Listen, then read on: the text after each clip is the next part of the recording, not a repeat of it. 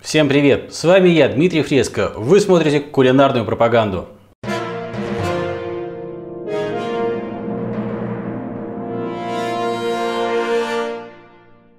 Сегодня хочу показать, возможно, не совсем привычный вам способ подачи паштетов. То, что вы в магазине покупаете под наименованием паштет, на самом деле, если быть абсолютно кулинарно точным, паштетом не является. Это печеночный мусс. А паштет всегда в тестяной оболочке. Помните у Пушкина? «Вошел и пробка в потолок, вина кометы брызнул сок, пред ним раздбив окровавленный...» э, Дальше не помню, секундочку. Э, «Пред ним раздбив окровавленный и трюфли роскошь юных лет, французской кухни лучший свет и Страсбурга пирог нетленный» меж сыром лимурским живым и ананасом золотым. Обычно страсбургский пирог, паштет, это мясной мусс в оболочке слоеного теста. Но сегодня я хочу привлечь на помощь другой раздел французской кухни, и поэтому приготовлю профитроли с нежнейшим печеночным паштетом из куриной печени, а ночное с моркови. Ее надо обжарить с луком, так что порежу такими вот кусочками, не крупными, ну и не особо мелкими. Чем больше в составе паштета будет поджаренных лука, моркови, тем слаще он будет, тем ярче будет его вкус. Сразу же отправлю морковь на сковороду. Обжаривать буду на сливочном масле.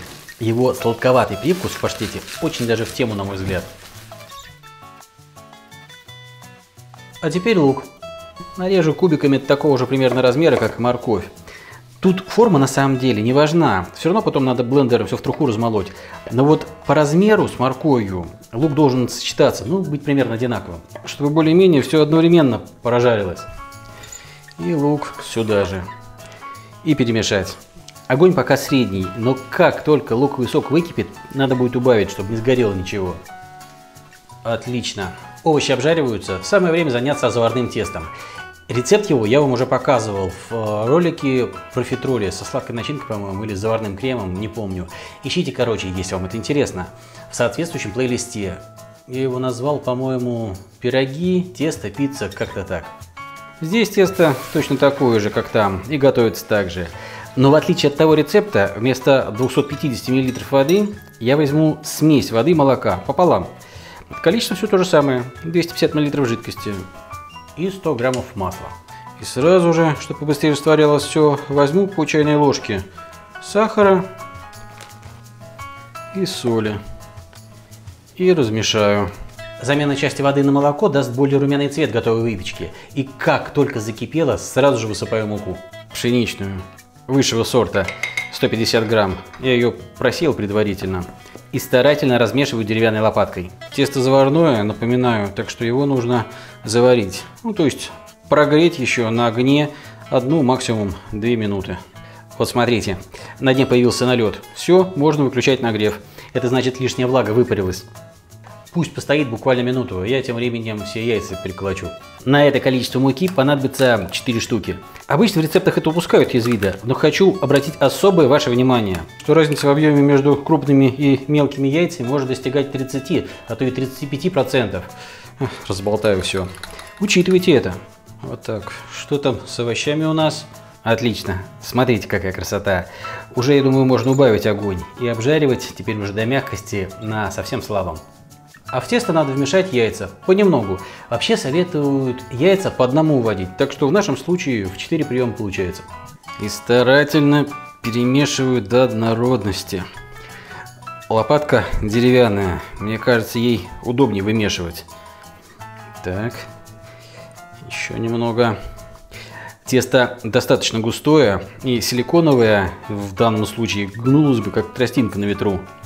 А если для вымешивания использовать металлическую ложку, то ей очень легко соскрести со дна вот этот вот подсохший слой. А тесто нам нужно в результате получить однородное, без всяких там сухих включений. Смотрите, какое гладкое, блестящая красота. Выпекаться профитроли будут у меня в духовке при температуре 200 градусов. Минут 20-25, самое время ее включить.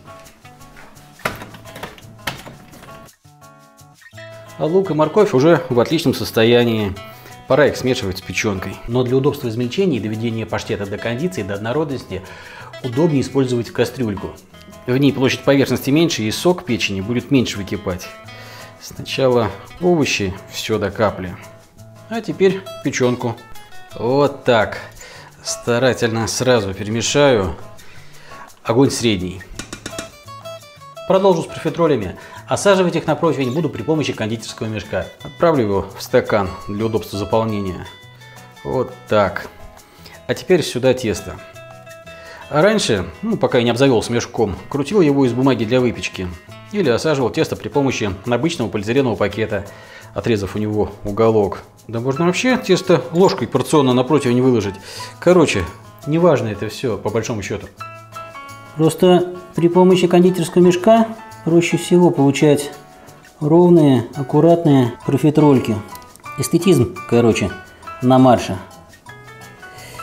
И можно поизгаляться разнообразно. Например, если давить просто равномерно у основания противня, получаются такие шарики.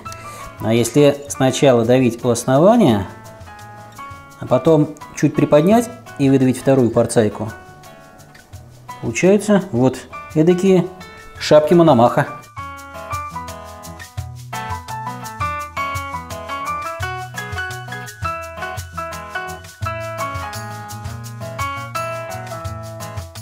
Ну вот так примерно.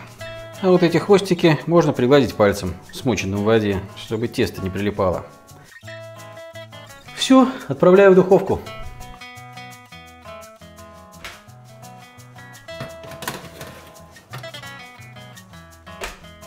Пока они выпекаются, самое время заняться доведением начинки до ума.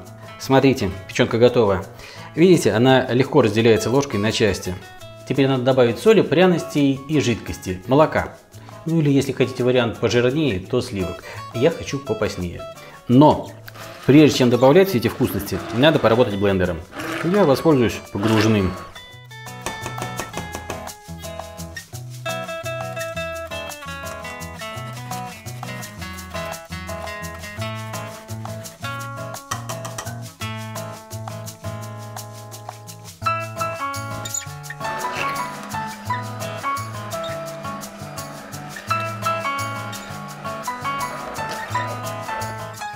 Количество молока или сливок определяйте на свой вкус. Чем его больше, тем более нежный паштет вы получите. Ну, это понятно, по-моему, правда? Смотрите, какая красота. Учитывайте, что после охлаждения он немного уплотнится. И еще, в такой вот паштет я добавляю зеленый перец горошком. Но вообще пряность выбирайте на свой вкус. Вы же для себя готовите. Немного, немало, наверное, чайную ложку смело положу. И еще немного блендера. Вот так. Может пара-тройка горошин пойдет под нож? Не страшно.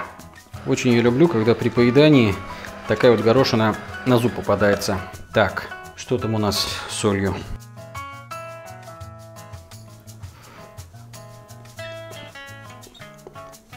М -м, отлично. И морковь и лук у меня были очень сладкие. Если у вас не такие, то не возбраняется и сахар сейчас добавить. Такой классный вкус. Обожаю паштет. Кстати, нагрев уже можно отключить. Профитроли готовы. Красивый, правда? Остается заполнить их начинкой. И я для этого опять воспользуюсь кондитерским мешком. Но опять же, если у вас его нет, ничего страшного. Профитролину можно надрезать и начинку положить внутрь чайной ложкой. Короче, включайте техническую смекалку. Вот так. Смотрите, паштет я сделал с довольно большим количеством молока и он прекрасно заполняет булочки. Вы же знаете, что само название слова профитроли произошло от профит, выгода.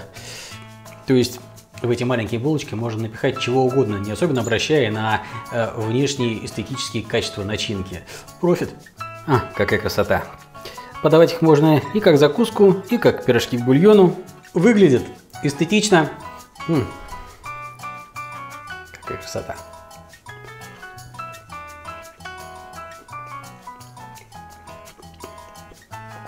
Вкус изумительный. Горошинка перец попалась. Сразу аж вспыхнуло все во рту. Ой, прекрасно. И помните, что это блюдо обладает очень классной такой особенностью. Сами профитроли можно выпечь за день, за сутки до планируемого застолья. А мусс, вот этот вот паштетный, вот эту основу, тоже можно готовить за сутки. А в денче просто заполнить эти булочки подогретым в микроволновке муссом. Отличная штука, извините. Нежнейшая начинка. Как масло тает во рту. Нет слов. Берите способ на вооружение. Спасибо за компанию. Всем пока.